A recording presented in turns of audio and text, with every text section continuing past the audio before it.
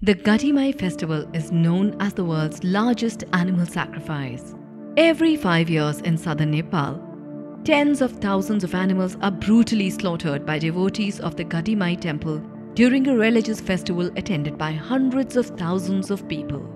The ritual killers believe these sacrifices will bring them good fortune. Animals at the Gadhimai festival are forced to travel for many hours, even days, without food or water only to be violently killed once the event begins.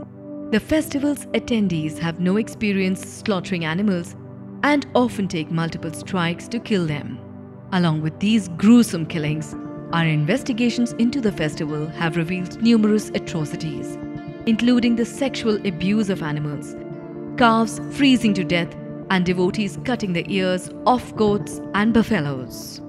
In 2014, animal equality was at the forefront of the effort to end the slaughter. Thanks to our tireless campaigning and collaborative efforts, there was an estimated 70% reduction in the number of large animals sacrificed compared to 2009 when approximately 200,000 large animals were killed. Leading up to the festival, we organized protests at Indian embassies around the world asking the government of India to restrict the movement of animals across Indo-Nepal border. Our combined work led to a measure by the Indian government that banned the transport of animals into Nepal for the festival. To enforce the ban, we partnered with local officials and stationed volunteers at border crossing checkpoints, leading to thousands of animals spared from being taken to the festival. In 2019, we once again were on the ground in Nepal working to stop animals from being sacrificed and documenting the abuse. Our exclusive drone footage revealed over 3,000 buffaloes being killed inside an enclosure, a tragic number that could have been far worse, as organizers had hoped to kill over 15,000, but were thwarted by our collective efforts.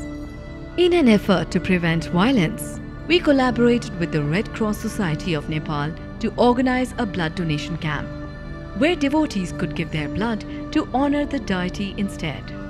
And in 2020, our international petition asking the Nepali government to ban animal sacrifice has been signed by tens of thousands of people and gains more every day.